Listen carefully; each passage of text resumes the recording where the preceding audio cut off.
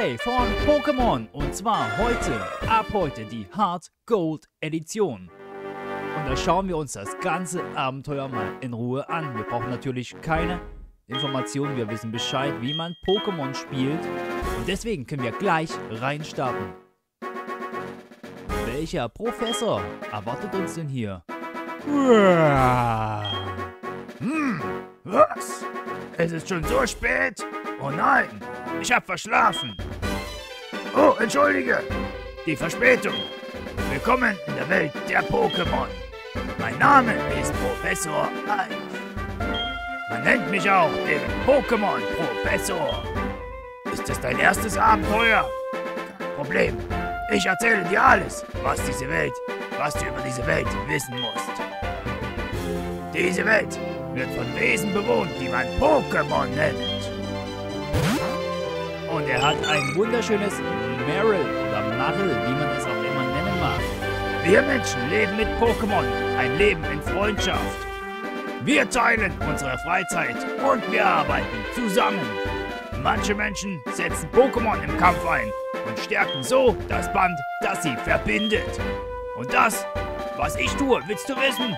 Ich widme mich der Forschung, Junge, damit wir mehr und mehr über die Pokémon lernen. Bist du fertig? Jetzt bin ich aber fertig. Und jetzt sag mir mal, wie du, wie du heißt. Oder bist du ein Junge oder ein Mädchen? Ja, wir spielen jetzt einen Jungen, würde ich sagen. Im letzten Let's Play war es ein Mädchen. Und wir nehmen jetzt selbstverständlich mal einen Jungen. Der bekommt denselben Namen wie sonst auch. Nämlich meinen hauseigenen. Dafür aber mal die kleinen Buchstaben aktivieren. Das gefällt mir irgendwie besser. Wenn nur der erste Buchstabe groß geschrieben ist. Gebe ich den Namen Merlin ein. Und dann starten wir direkt los. Dann geht die Party hier so richtig ab. Ah, du bist Merlin. Ja, das bin ich. Also Merlin, bist du startklar? Dann gleich tauchst du in ein ganz eigenes Abenteuer ein. Viele Erfahrungen warten auf dich. Schöne wie auch traurige. Große Träume großes Abenteuer hier in der Welt der Pokémon. Leg einfach los. Wir sehen uns später wieder. Hat er uns überhaupt schon seinen Namen verraten? Ich glaube nicht. Ich glaube, der hat uns den Namen noch nicht verraten. Und hier sind wir im wunderschönen Kinderzimmer. Ein kleines Bettchen haben wir hier. Eine kleine schöne Zimmerpflanze. Ist das der Fernseher oder... Ein Fernseher, ja. Hier steht ein Fernseher. Läuft aber kein Programm. Stromausfall gerade. Ein Laptop haben wir auch. Ein PC. Haben wir einen Posteingang was? Von Lyra. Ja, les ihn mal. Abenteuer, aufgeregt. Ich liebe Pokémon. Die Lyra, okay, ja. Knappe Worte, aber das reicht schon. Sonst ist hier im Zimmer nichts weiter los. Hier steht noch eine Konsole oder sowas. Da steht eine Wii-Konsole. Auch in Johto sind alle ganz verrückt nach dieser Wunderkiste. Dann würde ich sagen, gehen wir mal eine Etage weiter nach unten und schauen uns da nochmal um. Oho, da ist die Mutti. Ah, da bist du ja endlich, Merlin. Du hast ganz knapp deine Freundin Lyra verpasst. Sie war bis eben noch hier. Es sah so aus, als würde sie mit ihrem Meryl einen Wettlauf veranstalten. Wahnsinn, oder? Ach übrigens, Professor Lind aus der Nachbarschaft hat nach dir gesucht. Er meinte, er habe eine dringende Bitte an dich. Du kennst den Weg, oder? Sein Labor ist schließlich direkt nebenan. Pass auf, dass du nicht wichtig, nichts Wichtiges vergisst, bevor du das Haus verlässt. Hier, packen wir mal alles schnell zusammen. Ja, die Mutti, die packt dir, die packt die Tasche mit mir, mit mir gemeinsam. Das kannst du nun benutzen, um dein Spiel zu speichern. Und das hier wird dir auch noch eine große Hilfe sein. Oh, probier's einfach mal damit, das ist auch voll geil. Okay, wir sind jetzt ausgestattet. Wir haben unseren Trainerpass. Können wir uns auch nochmal anschauen. Hier der Trainerpass. Da sieht man auch schon alle acht Arena-Leiter. Sehr geil. Sehr interessant. Abenteuer gestartet am 27. März 2023. Geld 3000 Poké-Dollar. Sichern, Optionen und den Beutel, aber der wird noch vollkommen leer sein. Hier ist noch nichts weiter los. Ja, also wie man es kennt, ja, Pokémon wie eh und je. Im Haus ist hier aber nichts weiter los, ne? Einen Kühlschrank gibt es hier noch. Der Kühlschrank ist randvoll. Du siehst erfrischendes Tafelwasser und zuckersüße Limonade darin. Aber leider können wir das nicht trinken.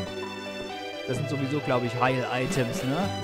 Tafelwasser, weiß nicht, 30 KP füllt das auf. Oh. Ey, pass mal auf, Kollege.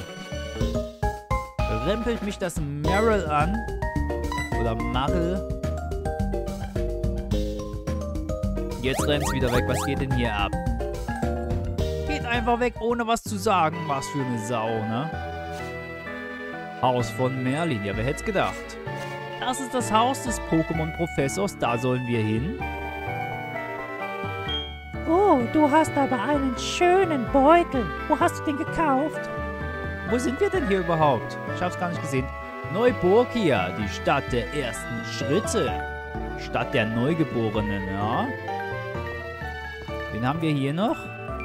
Hier ist auch noch ein Häuschen. Kleines, aber feines Häuschen. Pikachu ist ein entwickeltes Pokémon. Diese Erkenntnis verdanken wir ganz alleine Professor Lind. Er hat mir wirklich sehr imponiert. An seiner Ausstrahlung merkt man sofort, wie er zu einem berühmten Pokémon-Professor werden konnte. Ha, ich wünschte, ich wäre auch so ein toller Forscher wie er. Ja.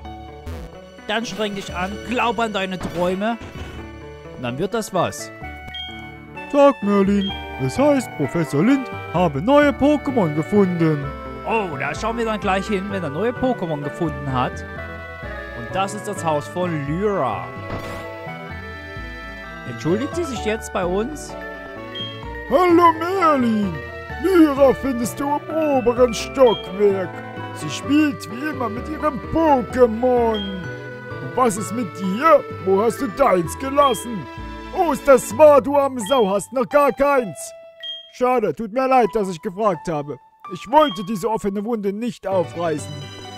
Tja, zu spät, alter Mann. Hier ist sie. Meryl rennt im Hinterzimmer umher. Macht den ganzen Fußboden dreckig. Oh, Merlin. Professor Lind hat nach dir verlangt. Warst du schon bei ihm im Labor? Nein, dann geh mal hin. Ja, machen wir jetzt. Wir gehen jetzt zum Professor. Aber da stand noch ein Rothaariger am Fenster und hat reingespannt. Kann man eigentlich das, das Neuburgia schon verlassen? Nein, sie hält einen ab. Das ist wie immer. Das Heimatdorf kann man nicht verlassen, solange man nicht die Mission erfüllt hat. Ist immer ein bisschen anderes. In Leuchtende Perle war es der Rivale. Da musste man zuerst in sein Haus reingehen und dann geht die Party ab. Und was machst du hier? Das ist also das berühmte Link-Pokémon-Labor. Hey, starr mich nicht so an. Hau ab, verpiss dich, Junge. Okay. Ich lass dich in Ruhe. Und wir gehen jetzt mal hier rein. Was? Meinst du mich? Nein, ich bin nicht der Pokémon-Professor. Er hält sich für ein, er hält sich weiter hinten im Labor auf. Hier ist er, hier ist er, der Lind. Ah, da bist du ja, Merlin. Ich habe schon auf dich gewartet. Weißt du eigentlich, mit was sich meine Forschung beschäftigt? Pokémon in Pokébällen aufzubewahren und sie überall zur Hand zu haben, ist heutzutage nichts Besonderes mehr. Aber vor der Erfindung des Pokéballs haben die Leute ihre Pokémon alle mit sich spazieren geführt. Ja genau, wie deine Freundin Lyra.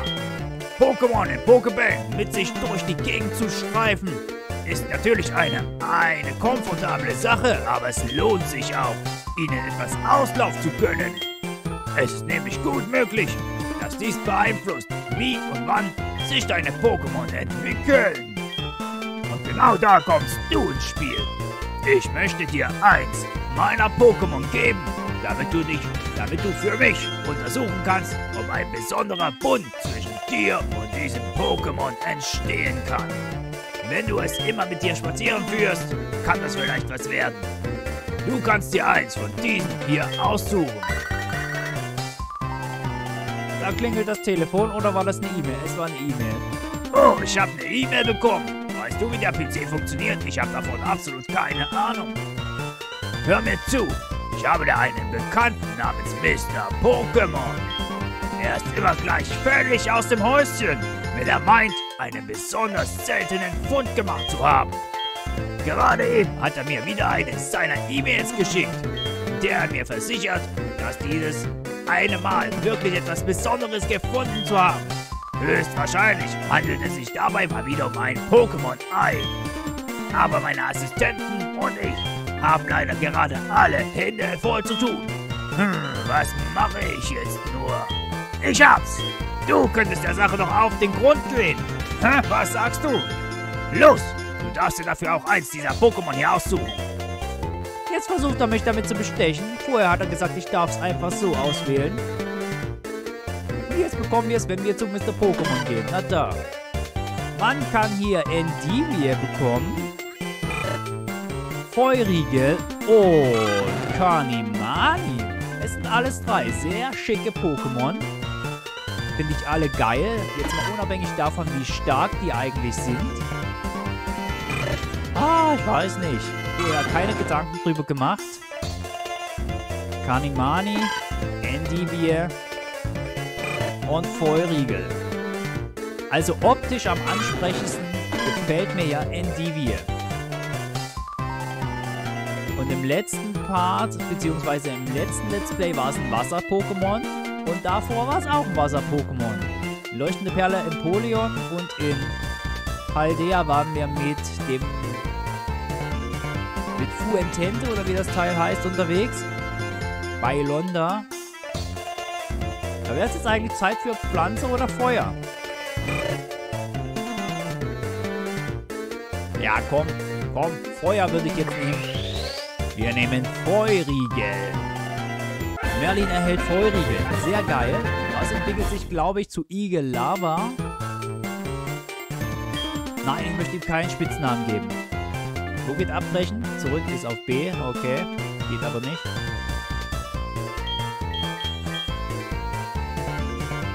Möchte ihm keinen geben, Mann.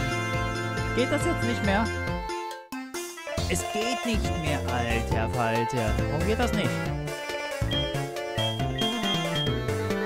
Ja, na, dann gebe ich halt was ein. Verdammte Scheiße, Mann. Dann ist das, ist das überhaupt das Menschen? Okay. Das ist ja der Heiko. Das ist der Heiko hier. Dann machen wir das halt. Ich wollte ihm da keinen Spitznamen geben. Ja, eigentlich bin ich damit nicht zufrieden. Oh Mann, das geht auch nicht. Okay.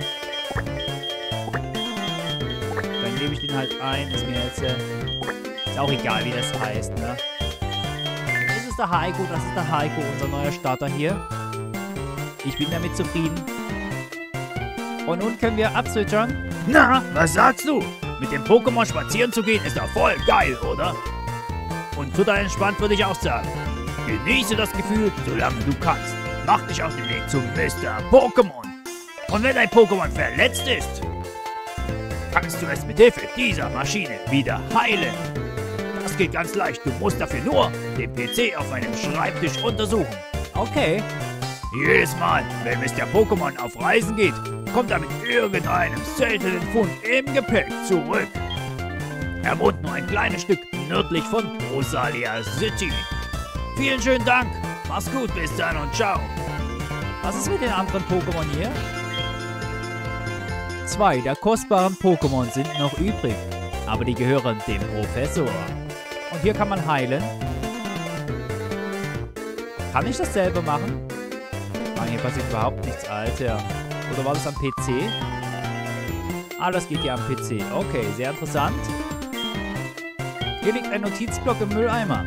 Wenn ein Pokémon dabei ist, sich zu entwickeln, kannst du es mit dem B-Knopf aufhalten. Okay, ja, das ist halt für Anfänger, ja. Die ganzen Infos für Anfänger sind hier am Start. Und dann würde ich sagen, wir haben noch ein kleines bisschen Zeit. machen wir noch ein bisschen weiter. Hey Merlin, hier, sieh, das als eine kleine Entlohnung für deine Dienstreise an. Tränke schenkt er mir. Okay, nice. Da müssen wir nicht heilen gehen. Wenn dir die Situation etwas zu brenzlig wird, solltest du deinem Pokémon ohne zu zögern einen Trank geben. Zu Beginn sind nämlich alle Pokémon noch leicht zu verletzen. Sie sind noch klein und zart, bitte pass auf. Ja, die sind sehr gebrechlich, haben noch nicht viele KP. Die können wir, auch, können wir uns auch mal anschauen, die Stats von Feurigel. Merlin, das Pokémon, das du bekommen hast, ist ein Feurigel, stimmt's? Ach ja, das ist echt ein tolles Pokémon. Wenn du es so spazieren führst, wird es immer zutraulicher werden. Vergiss nicht, das manchmal umzudrehen und mit ihm zu reden. Oh, und warum stellst du es nicht auch mal deiner Mutter vor? Also dann, man sieht sich. Okay, wir müssen auch noch zu unserer Mutter, dann, denn sonst kommen wir wahrscheinlich auch nicht aus dem Neuburg hier raus. Das ist also Feurigel hier. Streckt sich lang und macht ein Päuschen. Was hat's denn für Stats hier? Level 5. Ungestüm und einfältig. Angriff auf 11, Verteidigung 10, Special Angriff 9, Special Verteidigung 10 und Initiative 12. Fähigkeit Großbrand, stärkt Feuerattacken in Not. Okay, das klingt sehr nice. Das klingt sehr nice. Attacken hat es Tackle. Und Silberblick. Ja, die kennt man. Das sind die Starter-Attacken. Ja, sonst ist okay. Hier war, glaube ich, bei den Stats war der Angriff. Wie war das? Minus? Ist das Minusangriff plus Spezialangriff? Ich glaube, Angriff oder Angriff ist rot. Wie heißt das? Wenn ihr das wisst, schreibt es mal in die Kommentare rein. Und wenn ihr kein weiteres Video verpassen wollt von dieser neuen, geilen Let's Play-Reihe, dann abonniert am besten jetzt den Kanal. Dann seid ihr immer auf dem neuesten Stand. Und wir gehen jetzt noch der Mutti Bescheid sagen. Und dann würde ich sagen, starten wir unser Pokémon-Abenteuer. Wir machen uns auf zu Mr. Pokémon. Ach je, du hast aber ein niedliches Pokémon im Schlepptau, Merlin. Hat dir der Professor Lind eins geschenkt? Was wollte er eigentlich von dir? Hä? Das hört sich nach Arbeit an. Aber manchmal ist es gut, von Leuten um einen Gefallen gebeten zu werden. Ach ja, fast hätte ich's vergessen. Dein Pokémon ist von der Reparatur zurück. Hier hast du ihn gleich wieder. Der Pokémon, okay, das. Die kleine, der Touchscreen des DS füllt sich immer mehr. Wir können dann immer mehr tun. Wenn das dir mal ein ordentlicher Trainer werden soll, kommst du auch daran nicht vorbei. Ach, übrigens, mit dem Pokémon kannst du auch Telefongespräche führen. Weißt du, wie das funktioniert? Ich denke schon. Ich denke, das bekomme ich hin. Gut, ich lese dir aus der Anleitung vor. Was? Ich habe gesagt, ich weiß es. Wähle aus dem Menü auf dem unteren Bildschirm den Punkt Pokémon aus und gehe dann auf das Telefonsymbol. Der Pokémon speichert automatisch die Namen aller Personen ab, die du anrufen kannst. Alles, was du tun musst, um den gewünschten Gesprächspartner an die Strippe zu bekommen, ist seinen Namen auszuwählen. Kinderleicht, was? Ja, ist es. Aber ich habe mir nichts davon gemerkt, was du gesagt hast, weil Vorlesen, Vorlesen und das Gelesene, Vorgelesene Verstehen, das, ist, das sind zwei Paar Schuhe, ja?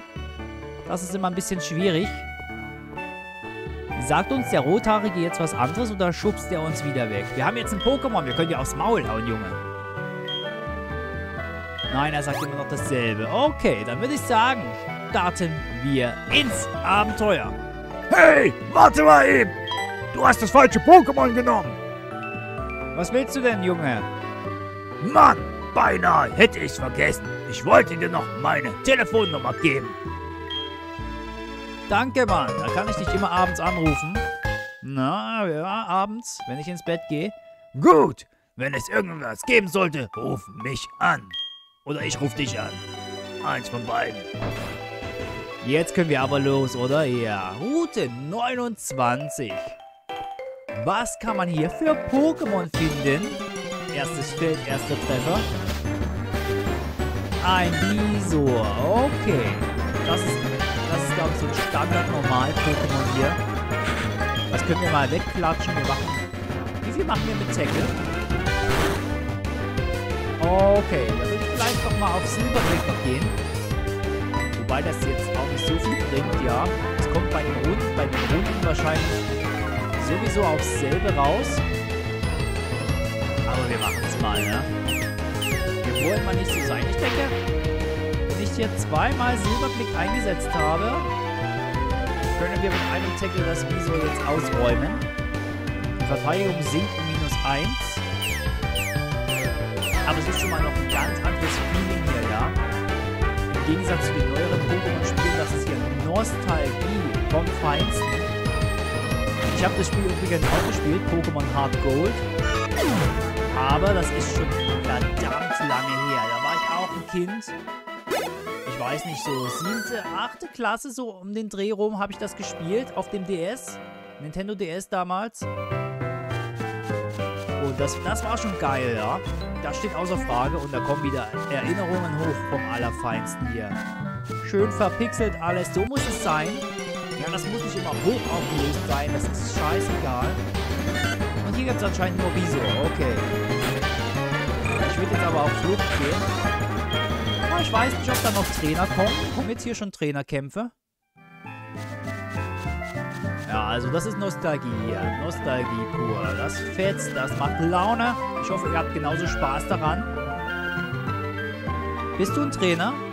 Willst du kämpfen? Hey Tag, wie geht's deinem Pokémon-Team? Nicht, ist es schwach und nicht bereit zu kämpfen? Machst du es besser einen großen Bogen um ins hohe Gras, Junge? Okay, ich soll einen hohen Bogen um das Gras machen, wenn ich geschwächt bin. Hier gibt es auch nochmal Wiese, aber das wird dasselbe sein. Geht's jetzt hier nach oben? Haben wir eine Karte? Nein, ne? Die wird es wahrscheinlich noch nicht geben. War jetzt hier auf der linken Seite eine Sackgasse? Könnte ich mir vorstellen, ja. Hier kann man auch weitergehen. Okay, hier ist dann Schicht im Schacht. Das heißt, wir müssen nach oben durch die Wiese laufen. Ja, ich wollte vorhin noch sagen, ich habe das Spiel zwar gespielt, aber ich habe absolut keine Ahnung mehr, was hier überhaupt passiert. Deswegen ist das trotzdem so wie Blind. Quasi ein Blind Let's Play hier. Wieder Visor. Pokébälle haben wir auch nicht, ne? Wir können noch kein Pokémon fangen. Hat uns ja noch keiner geschenkt hier. Nein, wir, haben nichts. Wir können nur Pokémon besiegen. Aber ich würde mir die KP lieber aufsparen, für den Fall, dass da ein Trainer kommt. Vor dem ersten Pokémon Center. Hier ist noch ein Ball. Was gibt's hier? Einen Trank. Okay, den nehmen wir mit. Der ist okay. Kann man gut gebrauchen, vor allem am Anfang. Weil ich weiß ja nicht, wie stark das hier ist. Taubsi ist auch ein schönes Pokémon, ja? Ein schönes Flug-Pokémon. Und hier müssen wir ja sogar drauf achten, ne? Das ist doch eine, das ist doch hier, in früheren Generationen gibt es doch keine V... Da, da gibt es ja wirklich noch VMs, ja? Du musst da fliegen, Surfer und sowas den Pokémon beibringen. Da gibt es ja kein Flugtaxi und dergleichen. Da musst du schon, da musst du schon ein bisschen dein Team danach auswählen wie das am besten läuft, ja. Also Chauboga ist ein relativ starkes Flug-Pokémon, möchte ich meinen. Damit kann man eigentlich nichts verkehrt machen. Ich habe mir noch gar keine Gedanken über mein Team gemacht. Aber ich würde das spontan auf mich zukommen lassen, ja. Ich will eine kurze Pause einlegen und speichere deshalb gerade meinen Spielstand. Ja, dann mach das. Einfach mal schauen. Ich habe keine Ahnung, was es hier für Pokémon gibt ganzen Spielverlauf. Einfach, was mir vor die Nase kommt und mir gefällt, das würde ich ins Team reinnehmen. Man muss es ja nicht im Team behalten, ja, wenn dann was Schöneres kommt, was Besseres, ne? Aber Taubsi ist auf jeden Fall ein recht ansprechendes Flug-Pokémon. Ich weiß nicht, ob es hier auch noch Schwalbos gibt. Weil das auch auch sehr nice. Kann man dann später entscheiden. Ist jetzt nicht so wichtig. Wir haben einen Auftrag. Wir müssen zu Mr. Pokémon und schauen uns hier ein bisschen auf der Route 29 um. Ich warte mal auf den ersten Trainer. Wäre nett, wenn wir im ersten Part noch einen Trainerkampf machen können. Wir ein bisschen Action sehen. Ein bisschen tackeln, her tackeln. Wir sind entkommen, das ist natürlich sehr fein. Und hier gibt es wieder solche, wie heißt das noch gleich? Sind das auch Bären oder Ein Aprikokobaum. Aprikokos gibt's hier. Das ist auch wunderschön, ja. Aprikokos. Einfach herrlich, das Wort. Aber wir können es doch nicht pflücken. Ohne einen Behälter. Ich habe einen Rucksack dabei, Junge. Ich habe einen Beutel. Ich warte hier darauf, dass es Nacht wird, weil sich manche Pokémon nur zu dieser Zeit blicken lassen. Ja, das kennt man. Den Tag-Nacht-Rhythmus von Pokémon. Das ist okay. Bei Tag und Nacht andere Pokémon. Bei Tag es hier anscheinend so hin wieder zu sehen. Aber ich muss, es, ich muss es immer wieder sagen. Es ist schon geil, ja? So einen schönen alten Schinken ausgegraben zu haben. Hey, komm mal her. Siehst du die Stufen hier? Es erfordert zwar etwas Mut, sie herunterzuspringen, aber so kannst du auf dem Weg nach Neubokia das Rohrgras umgehen. So, und hier war ein Zerschneiderbaum. Ja, den können wir noch nicht zerschneiden. Dann gehen wir mal noch weiter nach hinten. Was kommt da? Ist das die nächste Route hier schon wieder? Turboträder, gibt's sie hier? Turboträder wären echt nicht verkehrt. Das ist Rosalia City. Also das ist die richtige Richtung. Und wo konnte man nach oben durchgehen oder geht es da noch gar nicht lang? Das müssen wir jetzt noch mal auschecken. Wo lang kommt man denn da? Hätten wir auch gleich mal da reinschauen können. Ich hätte gedacht, nach da. Nach da müssen wir, aber nein, oder? Ja, was hast du zu sagen? Hinaufklettern kannst du die Stufen leider nicht. Du kannst sie aber hinabspringen und als Abkürzung benutzen. Äh, von nun an wirst du auch einigen anderen Pokémon begegnen. Wenn du alle schnappen möchtest, musst du überall nach ihnen suchen. Das mache ich. Aber wir haben noch gar keinen Pokédex, ne? Route 46 ist das hier. Sind die jetzt hier stärker?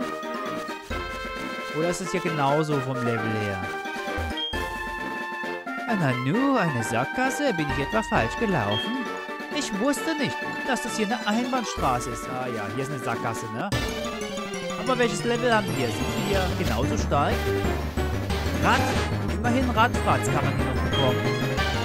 Ist aber auch ein normaler Pokémon. Hat dann aber Superzahn im Angebot und Hyperzahn, die echt nice sind. Was kann man hier noch bekommen? Vielleicht mal noch zwei, zwei Pokémon anschauen. Aber ich denke, viel mehr wird sich geben. Das ist eine der ersten Routen hier. Misor, Taubsi und Radfratz. Oh, Habitat. Habitat, aber Habitat ist jetzt auch nicht so geil, ne? Es gibt also auf dem Weg nach Roselia City, Rosalia City, kein, kein Trainerkampf. Das ist schade. Macht aber nichts. Dafür werden im nächsten Part umso mehr folgen. Umso mehr Trainerkämpfe werden da auf uns warten. Letztes Pokémon. Habitat, jawohl, ja, okay. Hier gibt es anscheinend nichts weiter. Aber es ist noch ein anderes Flug-Pokémon im. Das ist schon mal sehr nett. Brauchen wir jetzt aber nicht. Wir können es ohnehin nicht fangen. Wir haben keine Bälle. Die müssen wir noch kaufen oder meistens bekommt man ja noch so ein Fang-Tutorial. Mal schauen, wer uns das gibt. Lyra vielleicht oder sowas. Wir gehen mal noch nach Rosalia City und dann würde ich den Part erstmal beenden. Haben wir im ersten Part genug getan. Wir haben unser Pokémon bekommen. Wir haben uns ja die Welt, Johto-Region ein kleines bisschen zu Gemüte geführt. Als Fazit würde ich sagen, es ist sehr schön, mal wieder hier zu sein.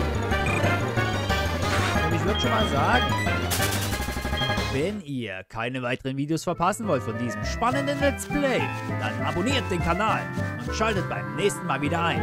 Bis dann und tschüss!